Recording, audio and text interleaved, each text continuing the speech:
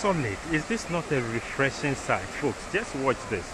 Just watch the background, the greenery, the rocky overhang, and the height from which the water is falling, the sheer volume of water. And this has been been in this forest all this while.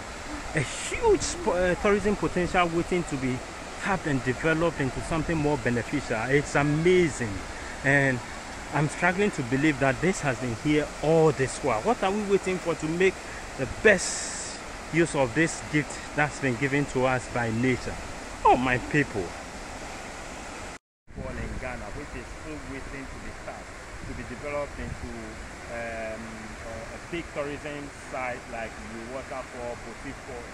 And look at the sheer volume of water that is running down the valley, the height the forest surrounding it, the rocky overhang. It's amazing, folks. I can't believe that this is hidden here in the forest and it's largely going on start undeveloped.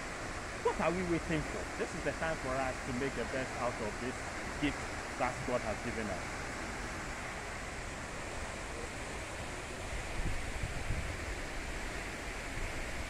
Oh Amen.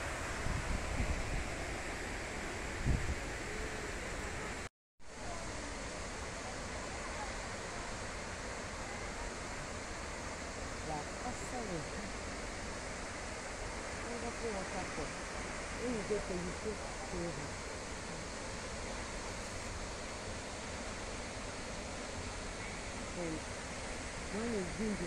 there's a lot of measures and other things that you go on to.